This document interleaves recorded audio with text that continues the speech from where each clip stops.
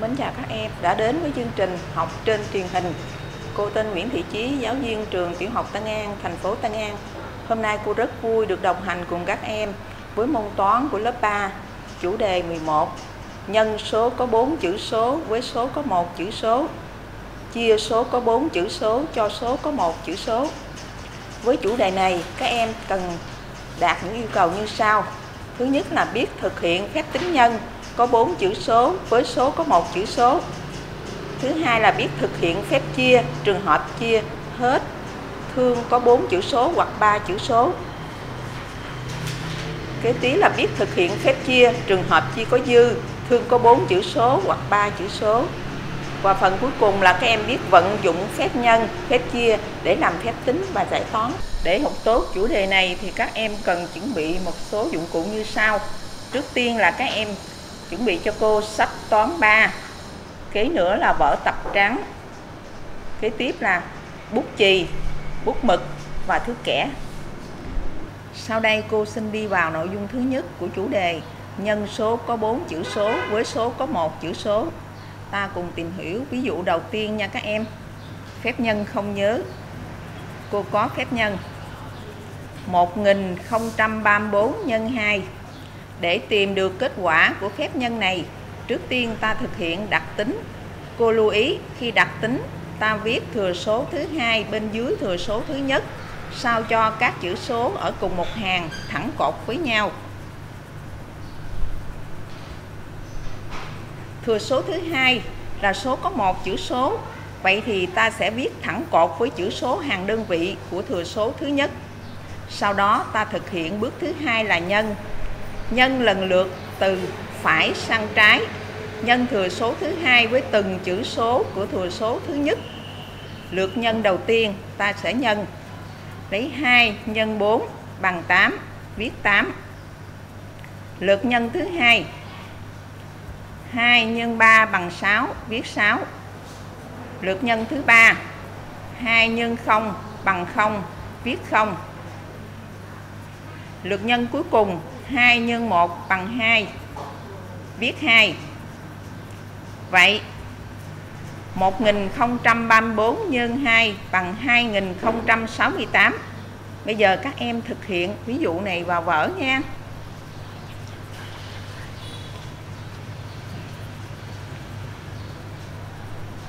Chúng ta đến với ví dụ thứ hai.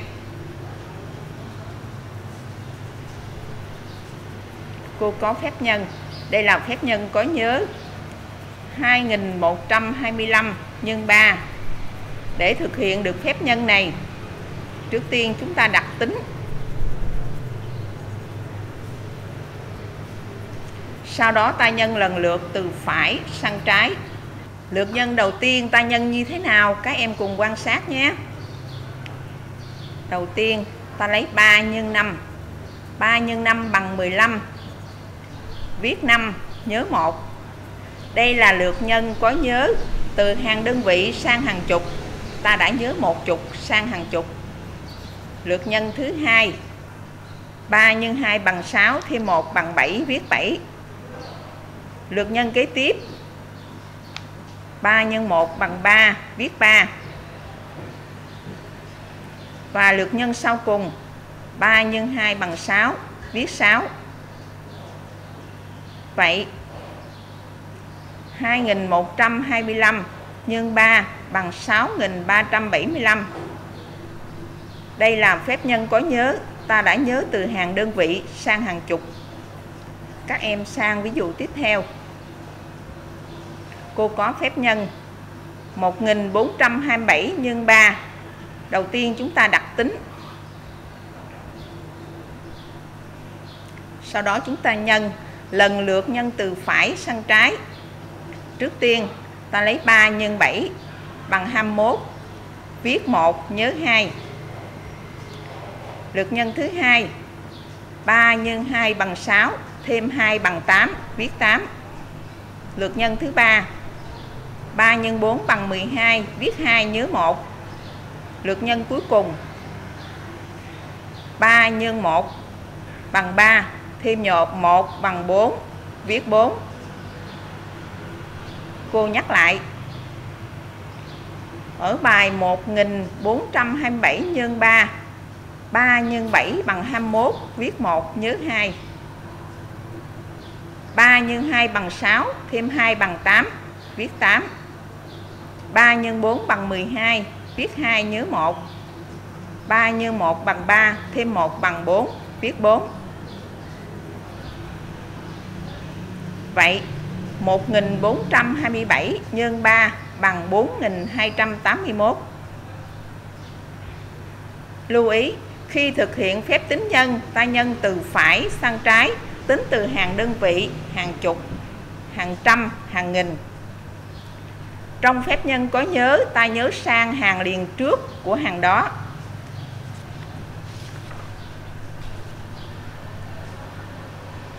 Vận dụng kiến thức cô vừa hướng dẫn, các em hãy hoàn thành một số bài tập sau. Các em làm bài tập số 1 trang 113 tính. Cô có 4 phép tính nhân. Bài đầu tiên 1234 nhân 2 bài thứ hai 4013 nhân 2 bài số 3 2216 nhân 3 bài cuối cùng là 1072 nhân 4 các em bắt đầu làm bài. Và đây là kết quả của cô. 1234 nhân 2 bằng 2468 4013 nhân 2 bằng 8026 2216 nhân 3 bằng 6648 1072 nhân 4 bằng 4288 các em dò xem kết quả có trùng khớp với của cô không? Chúng ta sang bài tập số 2 trang 115 đặt tính rồi tính.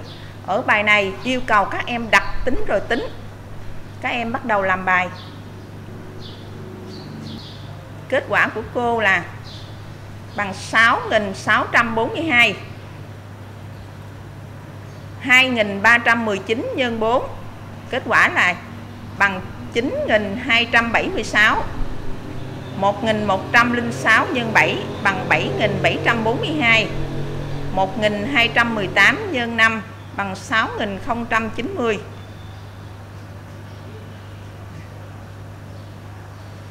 Và đây là kết quả của cô. Các em dò xem có trùng khớp hay không. Tiếp theo cô sẽ hướng dẫn các em tìm hiểu nội dung thứ hai của chủ đề. Đó là chia số có 4 chữ số cho số có một chữ số. Cô đến với ví dụ đầu tiên. Cô có 6.369 chia 3 Ở phép chia này ta thấy có gì đặc biệt các em? À, ta thấy số bị chia là số có 4 chữ số. Để thực hiện được phép chia này ta làm theo hai bước. Bước thứ nhất đặc tính. Bước thứ hai chia, Phải chia lần lượt từ trái sang phải. Vậy lượt chia đầu tiên ta lấy chữ số ở hàng cao nhất của số bị chia Chia cho 3 tức là 6 chia 3 6 chia 3 được 2 viết 2 2 là chữ số đầu tiên của thương, Sau đó ta nhân ngược lại. 2 nhân 3 bằng 6 6 trừ 6 bằng 0 Các em chú ý, Ở đây bước nhân ngược trở lại Và bước trừ đi Thì cô đã thực hiện nhẩm. Vậy cô chỉ viết kết quả dư thôi. Chúng ta đã kết thúc lượt chia thứ nhất Và là chia hết. Đến lượt chia thứ hai, Ta sẽ chia số ở hàng trăm. Khi chia số ở hàng nào, Ta hạ chữ số ở hàng đó xuống. Ta hạ 3 3 chia 3 được 1 Viết 1 1 nhân 3 bằng 3 3 trừ 3 bằng 0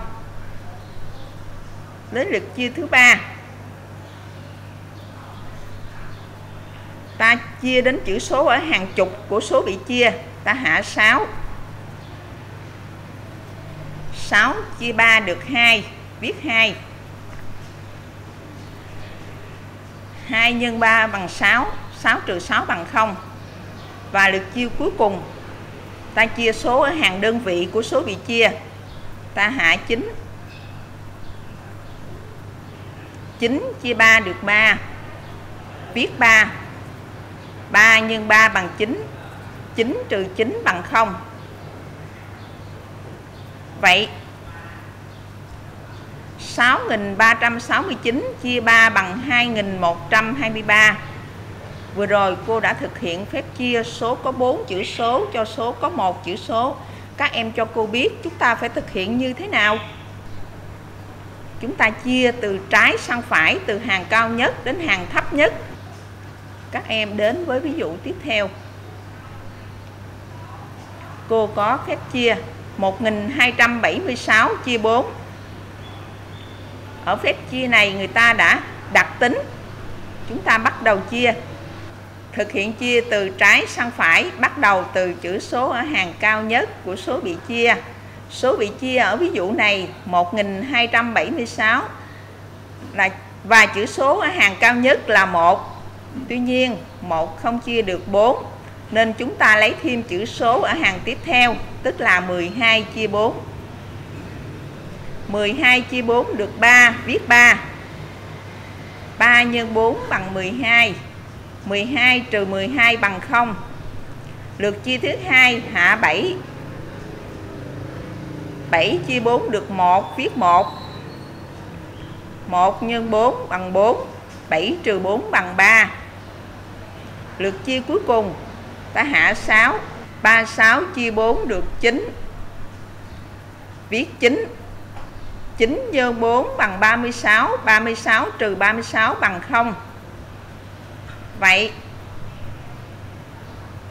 1276 chia 4 bằng 319 Các em cần lưu ý, Lần chia đầu tiên, nếu lấy một chữ số ở số bị chia mà bé hơn số chia, thì ta phải lấy hai chữ số rồi tiếp tục chia.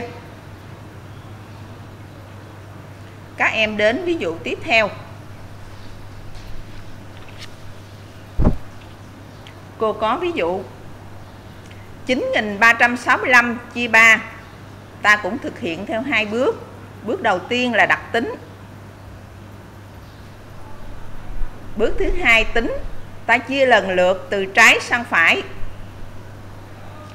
Lượt chia đầu tiên, Ta lấy 9 chia 3 9 chia 3 được 3 Viết 3 3 nhân 3 bằng 9 9 trừ 9 bằng 0 được chia thứ hai ta hạ 3 3 chia 3 được 1 Viết 1 1 nhân 3 bằng 3 3 trừ 3 bằng 0 được chia kế tiếp ta hạ 6 6 chia 3 được 2 Viết 2 2 nhân 3 bằng 6 6 trừ 6 bằng 0 Lượt chia cuối cùng ta hạ 5 5 chia 3 được 1 Viết 1 1 x 3 bằng 3 5 trừ 3 bằng 2 Đã hết lượt chia. Vậy 2 là số dư của phép chia. Vậy 9.365 chia 3 bằng 3.121 dư 2 Đây là phép chia có dư, Số dư bao giờ cũng bé hơn số chia. Tương tự như vậy, chúng ta đến một ví dụ tiếp theo.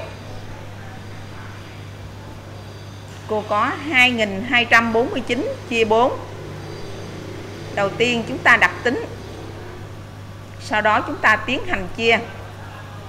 Vì 2 bé hơn 4 Nên ta lấy chữ số tiếp theo là 22 chia 4 22 chia 4 được 5 Viết 5 5 x 4 bằng 20 22 trừ 20 bằng 2 Lượt chia kế tiếp ta hạ 4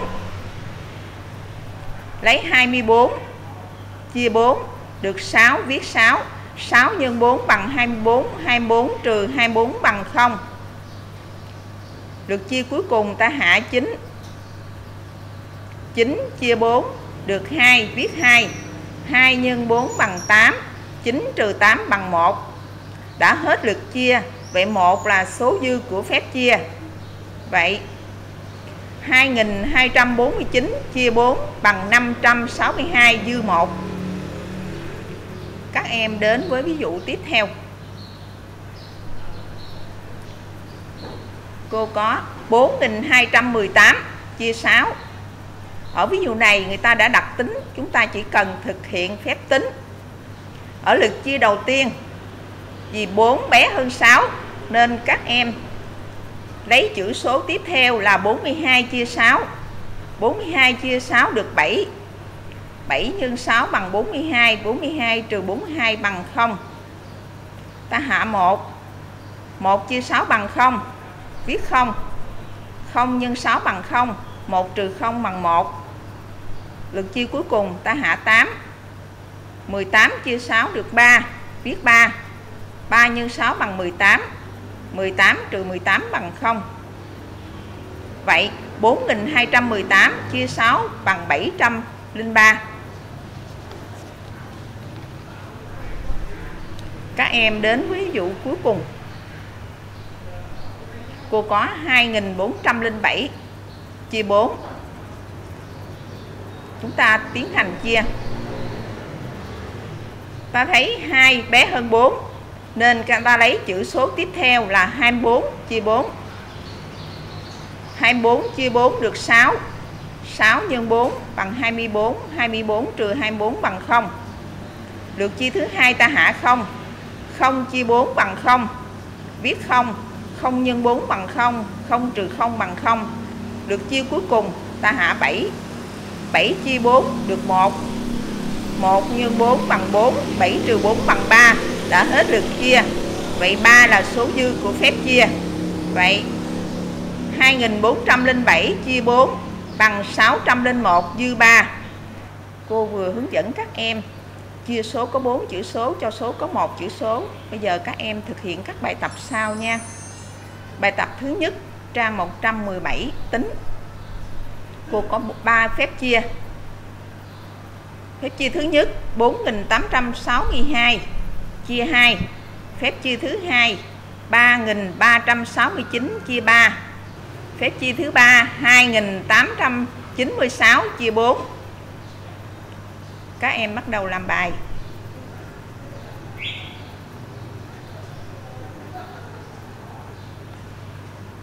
Và đây là kết quả của cô. 4862 chia 2 bằng 2431 3369 chia 3 bằng 1123 2896 chia 4 bằng 724 Các em đến với bài tập số 2 Bài tập 1 trang 118 tính. Có 3 phép tính chia. 2469 chia 2 6487 chia 3 4159 chia 5 Các em bắt đầu làm bài.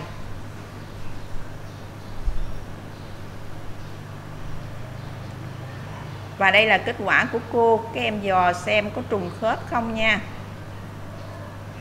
2469 chia 2 bằng 1234 dư 1 6487 chia 3 bằng 2162 dư 1 4159 chia 5 bằng 831 dư 4 Các em bước sang bài tập số 3 trang 119 Bài tập yêu cầu điền đúng, sai vào ô vuông. Cô có bài tập A 2156 chia 7 bằng 308 các em điền đúng, sai vào ô vuông các em làm bài trong vòng 30 giây.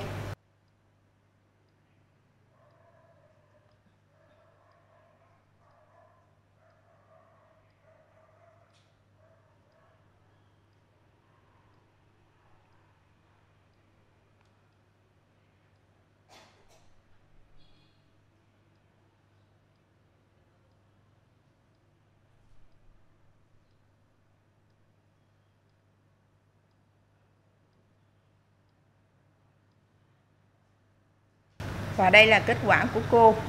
Bài toán này đúng các em. Các em sang bài tập B. 1608 chia 4 Kết quả là 42 Các em điền đúng hoặc sai vào ô vuông. Mời các em làm bài.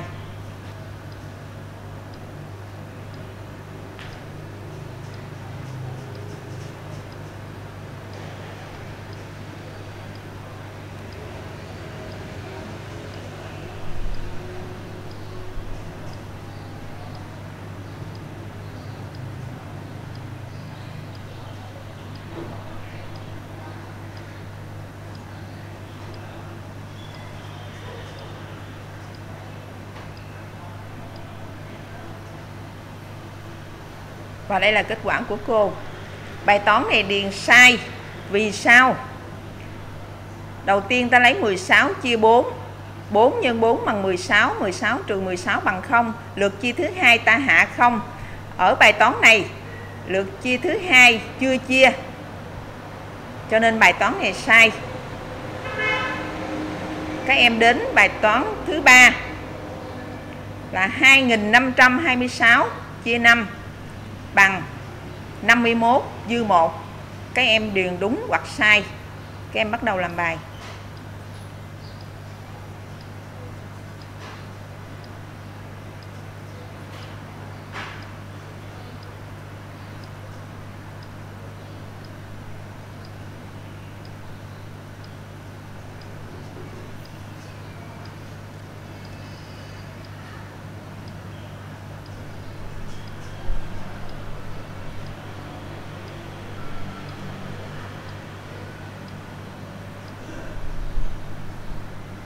Và đây là kết quả của cô.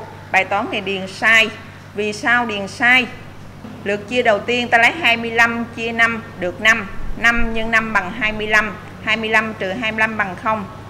Lượt chia thứ hai ta hạ 2. Nhưng mà ở đây bài toán chưa có chia. Là bài toán sai.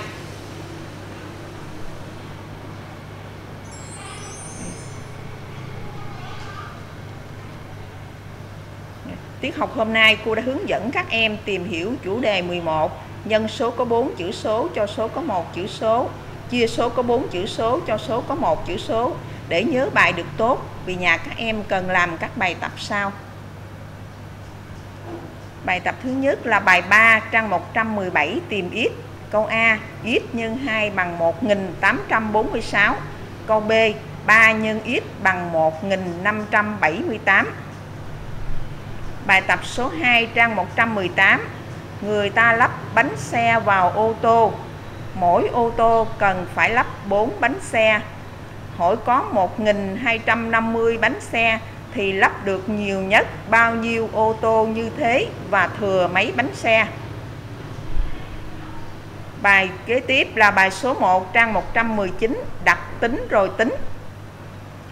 A có hai bài. 3224 chia 4 1516 chia 3 Bài B cũng có hai bài 2819 chia 7 1865 chia 6 Với chủ đề nhân số có 4 chữ số, với số có một chữ số, chia số có 4 chữ số, cho số có một chữ số, thì cô mong rằng các em về nhà, các em ôn lại kiến thức và các em thực hiện các bài tập thật là tốt nha. Mến chào các em.